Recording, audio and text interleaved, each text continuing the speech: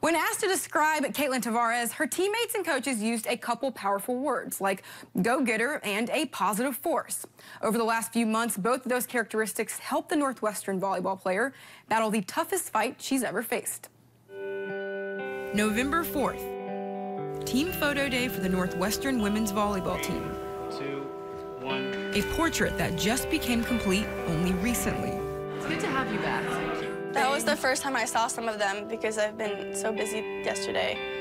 That was crazy. I feel like they all grew, but they didn't. They're just tall girls. It was great to see everyone so excited. Picture Day was a welcome moment for junior libero Kaitlin Tavarez, whose life changed this past July. That's really cute. I felt a little lump on my throat, and I thought that it was, you know, something that got nicked with my collarbone from playing or something, not a big deal. Went and got it checked out. Um, there wasn't anything sinister initially about it. I remember it was, um, it was late July, and uh, our athletic trainer, Haley Zimmerman, actually uh, shot me a text and said, are you around to talk? And I said, yeah, why don't you give me a call? And then she said, well, where are you? Because I'm going to come see you. And so as soon as I got that part of the text, I knew something wasn't good. I just won't forget this. She was in our um, kitchen, and she like walked up, and she just kind of like looked at me, and then just like started crying. It was honestly a moment I won't forget because it was something I I hope I never experience again. Tavarez was diagnosed with Hodgkin's lymphoma. In August, she took a leave of absence from Northwestern and returned home to California to start radiation treatments. During Kaitlin's battle, the support from her teammates never wavered. They really made me feel like I was still there. So that was important for me. I didn't want to kind of just fade away and be away from volleyball. They really helped me stay in it.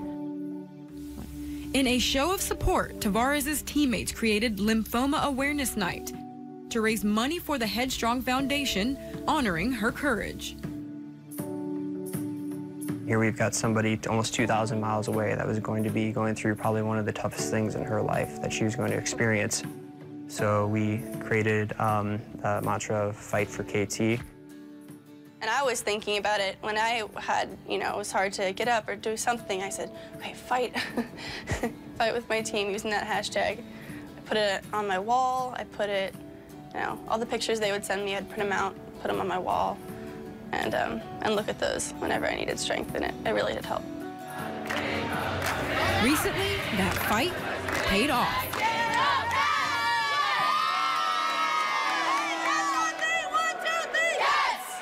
Being able to support them in person, seeing what you can't really see on the video that I've been watching online, it's just been really great to see that and feel that in the locker room, on the court, you know, between points. It's just a great feeling.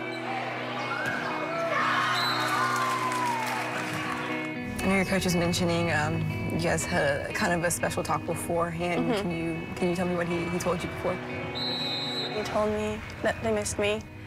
Um, sorry, getting emotional here. Um,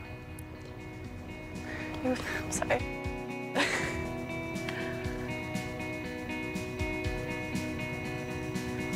sorry. Um, our coaching staff's amazing. It was just, I've been talking to a lot, them a lot over the phone, but just to have that conversation in person was, was great.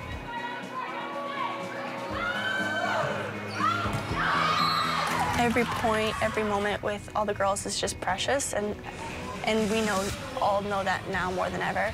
So I just can't wait to get back in the gym, get back in Evanston. Kaitlin's return to Evanston will come sooner rather than later. Her doctors recently gave her this great news. She's cancer-free.